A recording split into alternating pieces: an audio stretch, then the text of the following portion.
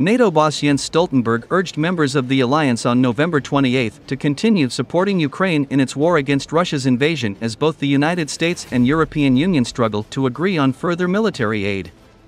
It's our obligation to ensure that we provide Ukraine with the weapons they need, Stoltenberg told reporters as he arrived for a gathering of foreign ministers from NATO countries at the alliance's headquarters in Brussels. NATO Secretary General Jens Stoltenberg also said he expected Turkish parliament to ratify Sweden's NATO membership as soon as possible. Uh, because it will be a tragedy for the Ukrainians if President Putin wins, but it will also be dangerous for us.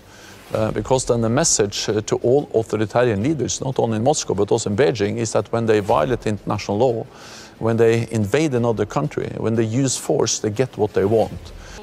Um, the EU has difficulties to keep their promise on the ammunition. The US. Uh... So this is about the whole idea of a rules-based international order where uh, territorial borders uh, are respected.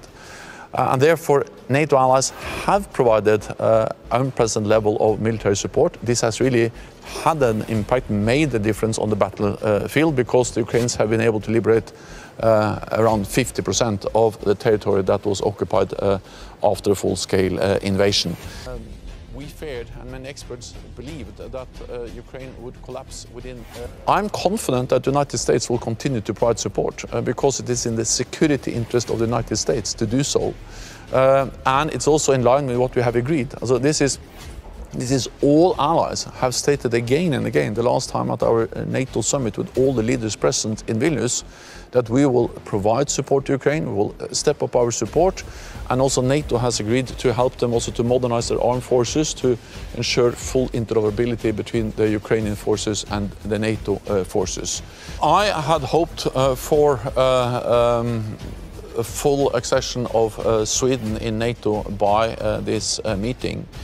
That has not happened. Um, uh, the good news is that uh, uh, uh President Erdogan has submitted the papers for ratification to the uh, Turkish uh, parliament and and and I expect the parliament to finalize their discussions and and conclude as soon as as possible.